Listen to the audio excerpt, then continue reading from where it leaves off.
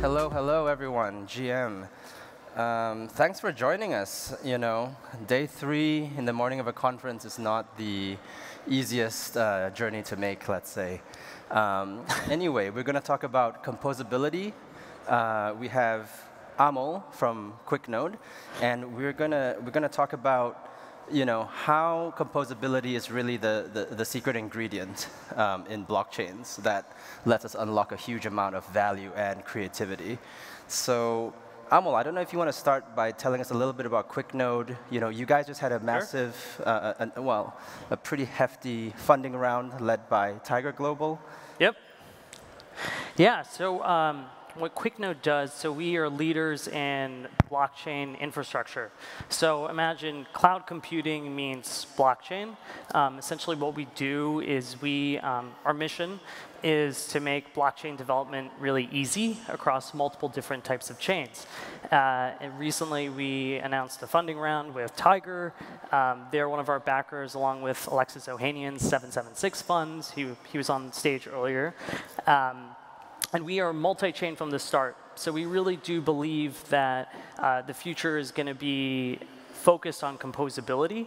Uh, and it's ultimately going to be something where it's not just one chain that wins. It's going to be multiple chains. Each chain has its own set of advantages and disadvantages. And, and we think that um, that's going to enrich the overall ecosystem. Well, I just wanted to sort of set the stage and zoom out a little bit, you know, before we dive into um, Solana-specific stuff. But, you know, what does composability across chains sort of mean for, for a multi-chain world?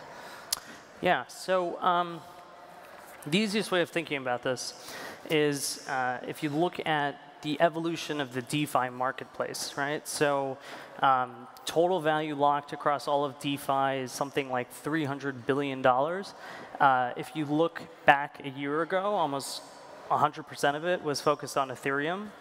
Uh, today, uh, Ethereum has about a 75% market share, so it's like a little over 200 billion in TVL.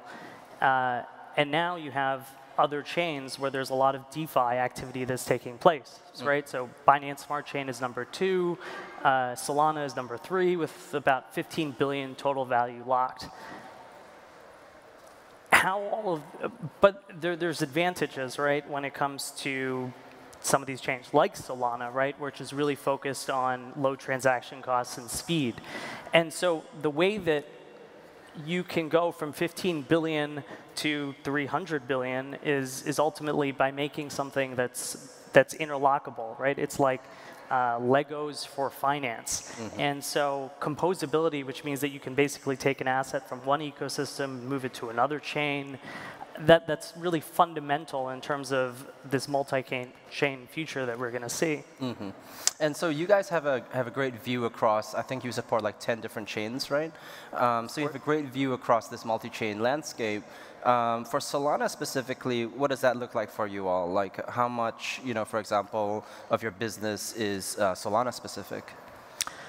So Solana is one of our fastest growing chains, and we just launched in August. Um, we've seen almost a 12x increase in terms of uh, total number of developers. In fact, today, Quick QuickNode, I think we support uh, almost 25% of all development across the Solana ecosystem. So wow. we're pretty significant. We work with the leading exchanges, wallet providers, all of that. Um, and we're seeing just a ton of interest and activity in Solana, right? And a lot of, of movement here across mm. the board. So it's, it's really an exciting time. Well, I mean, speaking of, you know, sort of the, the inbound interest, um, you know, what sorts of customers or what so sorts of businesses are you seeing coming through to you? We work with the leading wallet providers, uh, exchanges, both centralized and decentralized, analytic providers. Um, so our, our, customer base really varies, right? Mm -hmm. um, we work with multi-billion hedge funds to bedroom developers. Uh, and at the end of the day, what, what everybody's most interested in is essentially um, a service that has low latency, uh, that has access to multiple types of chains so that you can boot one chain and then you have access to multiple others. Mm -hmm. um, and, and, that's been what we've been really focused on. That's been driving the growth. Gotcha, gotcha. I mean, I guess we can't really talk about you know, enterprise or business interest in crypto these days without talking about NFTs. Um, are you seeing, you know, interest from, let's say, you know, brands or companies that, you know, are not from finance, for example, that are interested in in getting involved? Yeah, I mean, there's just been an explosion in terms of the number of DeFi projects, um, uh, sorry, of, of, NFT projects. Um, on Solana. In fact, uh, just last week, so there was the NFT con in New York, right? And there was just this so much palpable energy from all of these different uh, projects, and we work with a number of them. Yeah. Um, a lot of the sort of leading um, NFT developers, projects, um, exchanges, uh, and so that's been there's just been a tremendous amount of interest, mm -hmm. and Solana has a lot of interesting elements about it, right? The low transaction costs, the ability to mint relatively cheaply. Uh, I think they're attracting a lot of different projects, so we see that continuing. Gotcha. I mean, just to go back to the multi-chain world theme again, you know, let's say um, a, a, brand comes to you, they say we want to mint our first NFT collection. Yeah. Um, you know, where should we do it? What chain should we use? Um, what are the advantages and disadvantages? Like, how do you, I guess, kind of guide them through that process? It's a good question. I think that um, it, it depends in terms of what a specific project's really looking to accomplish, right? So at the end of the day, um, our job, right, is to provide basically a fast, high quality infrastructure. Some projects are really interested in Ethereum because that's where there's historically been um, a lot of NFT projects created. Others are focused on Matic because of the low transaction costs and the fact that you can still tie to Ethereum. Solana is seeing a lot of interest lately, right? Um, and so it depends in terms of uh, where you are in the ecosystem, whether there's a lot of historical development, whether you're interested in, um, in governance, whether you're interested in speed, the trilemma still applies. Um, and so it, it varies, mm-hmm. is the, the short way of answering it. But um, what we are seeing, right, is that there's just been a lot of interest in essentially um, minting projects, uh, a lot of different types of projects, and, and what you're starting to see is different business models that are emerging too, mm. right? It's not just JPEGs. Um, it's also around music, and, and the guys from Audius, they were up here earlier, right? They're building on Solana. Uh, I think that you can start to see a whole wave of consumer applications mm -hmm. that are, are, are forming, where it's not just JPEGs, but you're going to start to see music. You're going to start to see social networks. Um, so yesterday, right, Alexis Ohanian, he um, announced with the Solana Foundation mm. that they are investing 100 million in the next wave of social development. Um, he's one of our backers. We believe that that's the future. Um, and at this conference, right, there's a number of interesting projects. Chingari, I think they want to be the TikTok of India, um, and built on Web3. And I think that's just an example of just many of the, the opportunity that's here. Mm -hmm. Well, you know, we were talking earlier, and you know, you worked at some of the biggest um, Web two, let's say, um, platforms, right, including yep. TikTok. Um, and I'm just wondering, you know, when you look at you know application developers coming to you today, um, you know, they look out. it's a multi-chain ecosystem. Developers now can pick and choose, right, which chains they want to start off on or which ones they want to be on. Versus, uh, it feels like a few years ago uh, it was much more like, well, you pick the chain, the chain dictates, you know, what you can do as, as an application developer. Um, is, is that, do you see that happening? Is, that, is there a bit of a shift more towards, in favor of application developers now?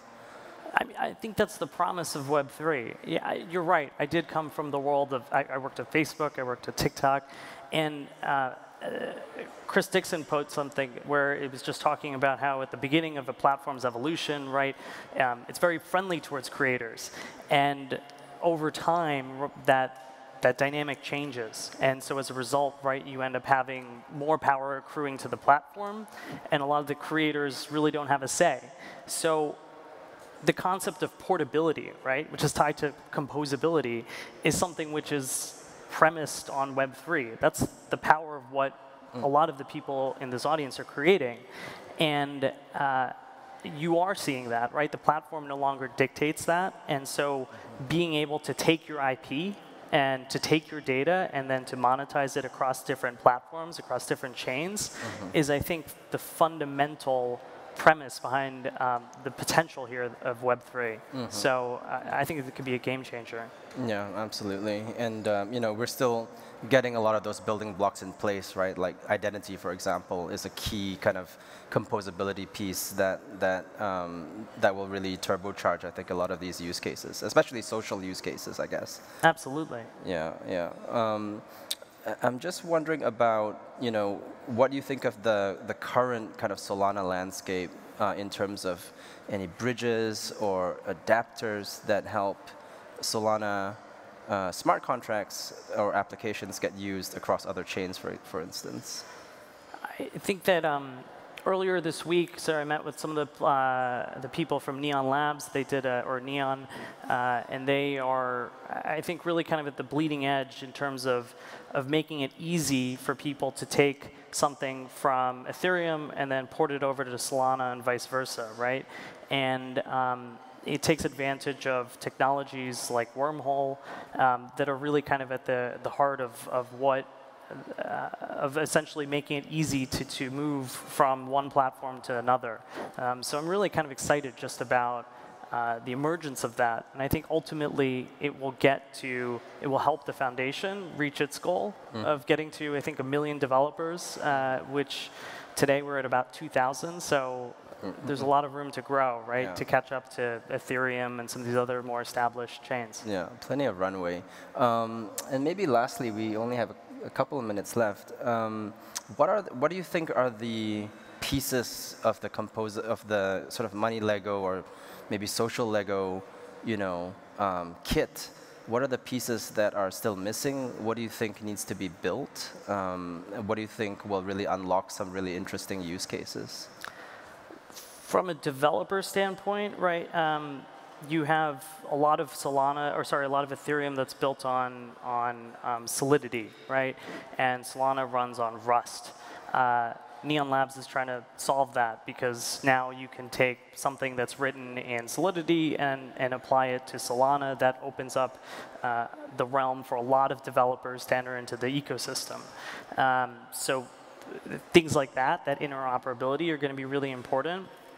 Uh, the second thing is just around um, people being able to uh, take that value from one ecosystem to another in a way that is uh, with, with less friction, right? It, and so that's something which you've started to see that some of the layer two solutions, um, if you have to wait a week to move back to a layer one, not ideal. Uh, instead, if you can move your assets more freely and with lower transaction costs, that opens up the entire market. Um, that's something which is going to be really important. Uh, and so I think that's another key piece. Mm. And then just with a lot of the innovation that's happening in DeFi as an example, right, where um, if you make it so that you have true interoperability between these different chains, that's going to improve transaction costs, that's going to improve liquidity. Uh, and so those are all important things as you're thinking about ultimately improving the, the user experience, right? Um, and that's, that's important in terms of being able to, to move value and to have depth of markets. And those are going to be really kind of key criterion. And we're seeing that happen. Yeah, 100%. I mean, I was talking earlier about identity. Like we just saw, for example, the Ethereum name service, excuse me, which is a, a key, I guess, plank um, of, of the Ethereum ecosystem in terms of identity. They just did a successful, you know, token airdrop and so on. Um, and it feels like those are the things that will, you know, turbocharge this whole identity piece. And once you have that in place, you can do really cool things with it, especially on the social side, right? Um, you look at Twitter, for example, they're developing a, a PFP authentication um, feature. Um, so, you know, with, with good identity, you'll be able to do that in a Web3 native way. Um, and you can take it with you maybe across chains, for example. Um, so it seems like, yeah, that would be a really cool uh, social Lego to have to play with. I think you're going to see a lot more of the Web 2 players trying to build Web 3 capabilities. We're, we're having conversations with a number of those kinds of, um, along those, those lines. Um, and, and you'll also see a lot more development happening on Web3 natively as some of these tools come online. Um, so 100%, I'm with you. Yeah. Awesome, awesome. Well, Amol, uh, it's been a pleasure. And thank, thanks to you all for listening. Thanks for having me.